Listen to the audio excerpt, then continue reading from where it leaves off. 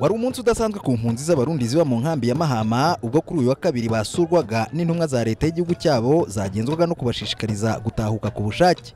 Nyuma y'umurishyo w'ingoma z'abarundi zasusurukije ibihumbi by'impunzi zari ziteraniye ku kibuga cy'imikino y'inkambi ya mahama hakurikiyeho ibiganiro byaranzwe no gusasa inzobe hagati y'impande zombi aho impunzi zagaragaje ibyifuzo byazo kugira ngo zitahuke bashimye cyane ukuntu banatwibutse bakaza kudusura.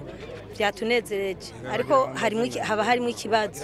Nka mu guhunga kujya kuntu bavyishyuye nuko bavyishyuye mu bwinshi twe twahunze dusize impangu zacu zi- zirimo abantu ngo barapanze. None ubu twumvise ko hari aba- abantu bo hejuru tutoja guhangara bashyizemo amazu y'ama etaje. None bishitse tugataha vyogenda gute two- twobigenza gute? Twahunze umutekano muke muke ntabwo biriya byo twahunze mu by'ukuri. Uri umutekano muke twahunze? Jya nahunze bibiri na cumi na gatandatu. Niyumva warakomeje.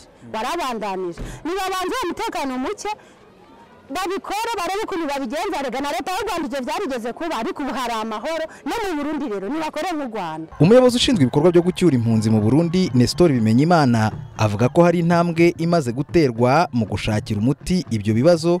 Ari nako leta ishyira imbaraga mu bikorwa by'imibereho myiza n'amajyambere y'abatahuka ndetse n'igihugu cyose muri rusange. Bamwe iyo batahutse bagira ingorane zijyanye n'uburaro kuko basanga amazu bashyitse basize hariya ku mitumba iwabo yarasambutse. Abatware n'indongozi zo hasi duhereye kuri ba musanteri gushika ku bakuru b'ubucimbiri barahimirijwe bikwiye kugira muri cya kibano cya hafi bazotorere umuti amatati yose mwosanga hari igisata cyo kwivuna abansi n'icy'umutekano birabandanya kuko imikangara eh, ibikeneye iguma yinjira. Iryo yinjizwa rigatunganywa ku mugaragaro ata bwoko ata migambwe ata ntara bikumiriwe.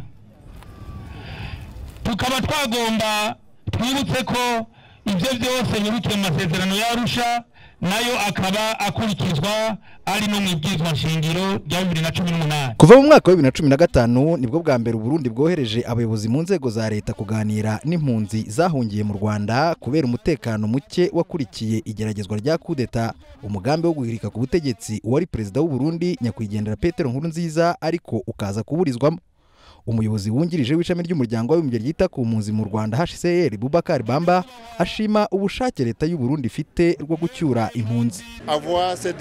Kuba izi ntumwa zaje kuganiriza izi mpunzi zifite ibibazo binyuranye bigaragaza intambwe nziza. Kandi twizera ko kuba izi mpunzi zabonye intumwa ziturutse mu gihugu cyabo zije kubasobanurira bizasubiza ibibazo bari bafite. Ndetse n'abari bafite impungenge zo gutaha bashobora gufata icyemezo cyo gusubira mu gihugu cyabo. Mu nkambi ya mahama habarurwa impunzi z'abarundi zisaga ibihumbi mirongo itatu n'umunani n'izindi zikabakaba ibihumbi makumyabiri z'abanyekongo.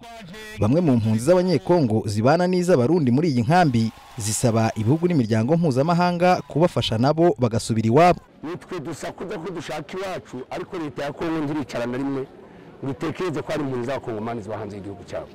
Kandi natwe ibyo bavuga ntawifuza kuri impunzi. Turasaba ko na leta ya kongo inama ya, guverinoma ya kongo iterana bakaza natwe bakadusura turi abantu bakeneye kujya iwabo. Aba barundi nubwo bavuga bati nyabuna turasaba ibintu mu bitunganye bafite amahirwe kuko bababonye.